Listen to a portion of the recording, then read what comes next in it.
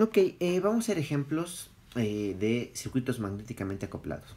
Tenemos este circuito y nos piden que encontremos eh, V2 entre V1, donde esto es V1, pero nos lo piden como fasores. Entonces hay que pasarlo a la, a la frecuencia. Esto obviamente va a ser V1, esto es 10 ángulo de 0, nuestro omega es 10. Esto al ser, el, inductor es J omega L, ¿no? Entonces sería J10. El otro inductor es J omega L, que es 10 por 100 es 1000.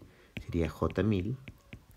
Las resistencias que se quedan como están. Y el término M, la inductancia mutua, también se calcula como J omega M. O sea, sería J90. ¿Ok? Eh, las corrientes se van a escribir como I1 y como I2. Y este voltaje de salida será V2.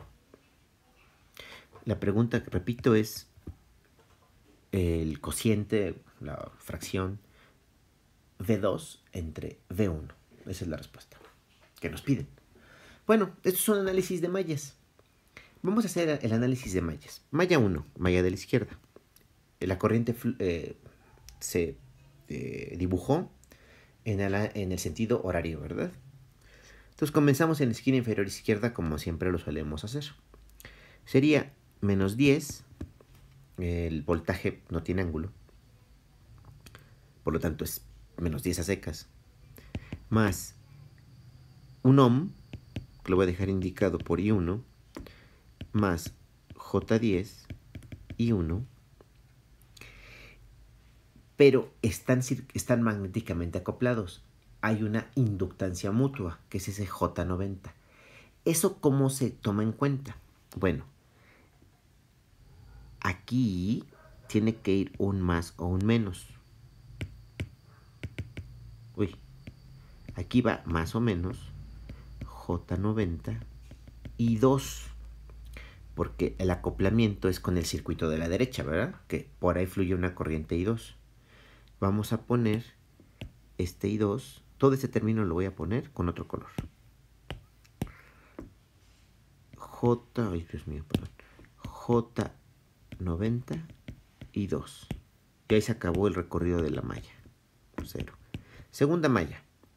Comenzamos esquina inferior izquierda. La corriente entra por la terminal de abajo. Por convención pasiva, la terminal de abajo es positiva. Sería más lo dejo indicado así para que sea explícito, que es J1000 y 2. Ahí también ese inductor está magnéticamente acoplado con el, la malla de la izquierda. Entonces ahí tengo que escribir más menos J90 y el acoplamiento es debido a la corriente de la izquierda. Entonces, I1 y me sigo. Más 400 y 2 igual a 0. ¿Ok? Eh, más menos, ¿verdad? Con rojito.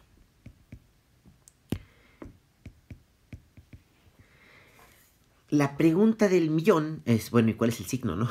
del J90 en ambas ecuaciones. ¿Es positivo, es negativo?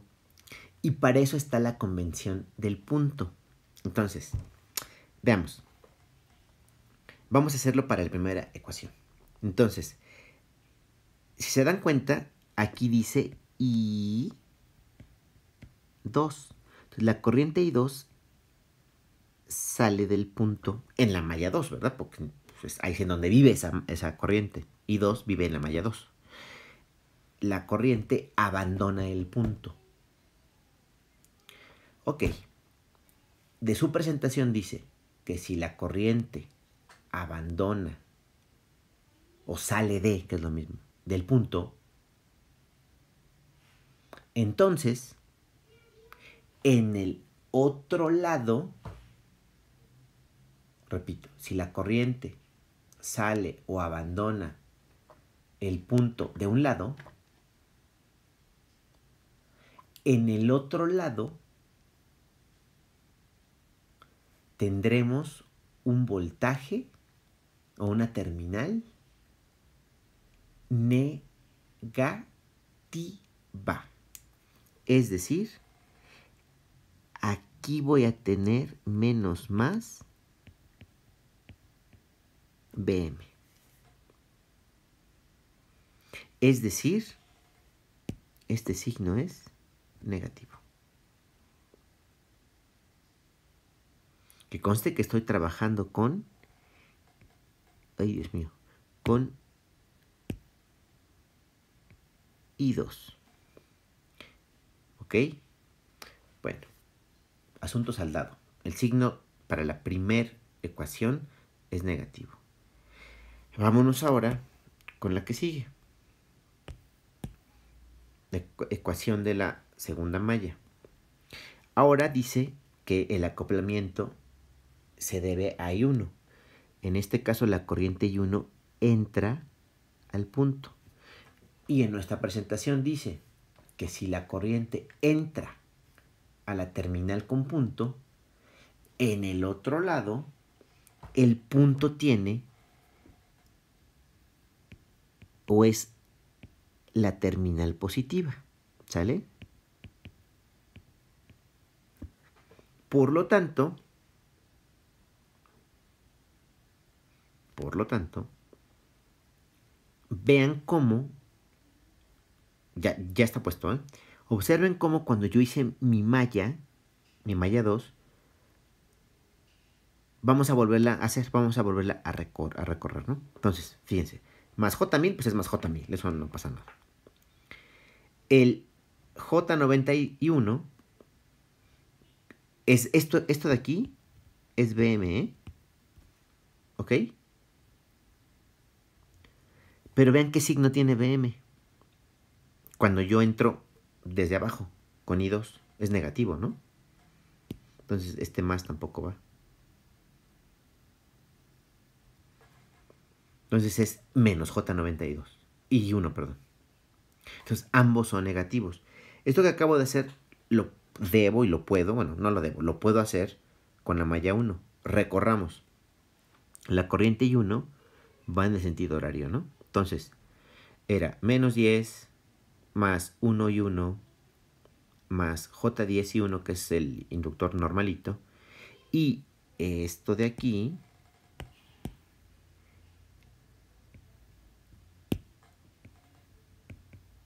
es BM, el que está en rojo. Vean cómo la corriente entra por la terminal negativa de, BM, confirmándose que esto es negativo.